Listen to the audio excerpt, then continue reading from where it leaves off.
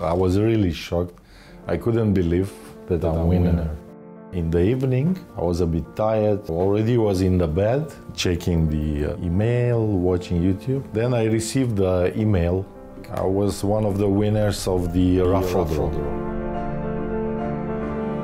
My name is Kirill. I'm from Uzbekistan. I'm living in UAE about 20 years. I knew about uh, Mahzooz from one of my colleagues. Immediately I installed the app and I started participating. So let's say I'm participating about eight months, uh, winning 100,000 in one night.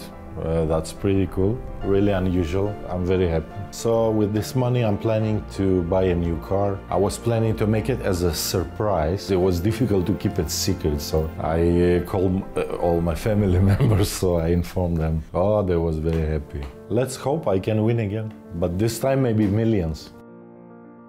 Believe in yourself, be positive, participate continuously. You have a good chance.